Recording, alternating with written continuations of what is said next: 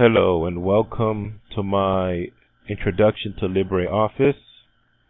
LibreOffice, if for those who don't know, it's a fork of, or you could say a copy of, another free open source uh, productivity suite named OpenOffice.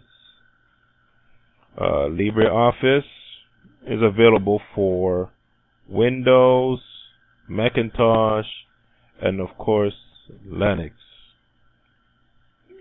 It gives you six applications for all your document production.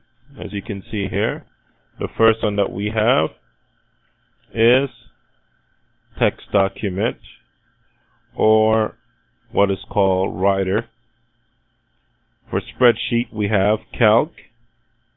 For presentations, we have Impress. Uh, for drawings, we have Draw. Um, and we have Formula for math. And of course, Database or Base for database. Also, it comes with some templates. If you open that up, bring it over here. Uh, go back we have these different categories presentation, education, finances, uh, forms and contracts. Let's look in forms and contracts. We have these here confidentiality agreement. Open that up. That's how that looks like. So that is LibreOffice. And my in my next uh, video, for my next screencast, we're going to learn a little bit more about Calc or the spreadsheet option of LibreOffice.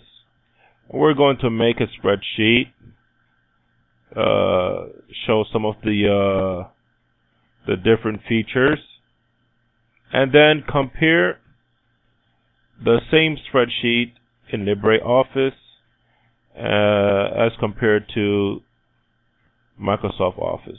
And that's it for now.